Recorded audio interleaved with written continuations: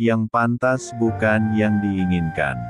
Kehidupan memberikan apa yang pantas Anda peroleh, bukan apa yang Anda inginkan.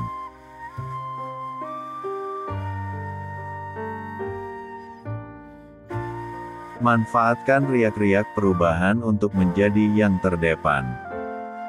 Yang pantas bukan yang diinginkan. Kehidupan memberikan apa yang pantas Anda peroleh, bukan apa yang Anda inginkan. Bagian tubuh manusia yang paling unik adalah otak dan pikiran. Jangan terlalu lama dalam keadaan yang tidak membahagiakan. Jika ingin menumpas kemiskinan di negara ini, kita semua harus maju dan bersatu.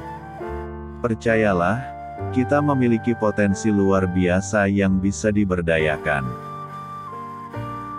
Ketika Anda sibuk dalam kebaikan, Anda tidak akan sempat berbuat keburukan. Tiga hal tidak mungkin disembunyikan lama: matahari, bulan, dan kebenaran. Apa itu sukses? Sukses adalah kegagalan demi kegagalan, tetapi Anda tidak kehilangan semangat. Indonesia masih mengimpor 1 juta MT pupuk dan 5 juta ton LPG. Padahal, bahan baku keduanya bertebaran di Indonesia, yaitu gas. Anda tidak bisa dikatakan menjadi orang kaya, kalau Anda belum memiliki sesuatu yang tidak bisa dibeli uang. Terkadang banyak kebenaran diletakkan di tempat yang tidak Anda disukai. Selalu ada tiga sisi dari sebuah cerita. Cerita dari sisi saya, cerita dari sisi Anda, dan fakta.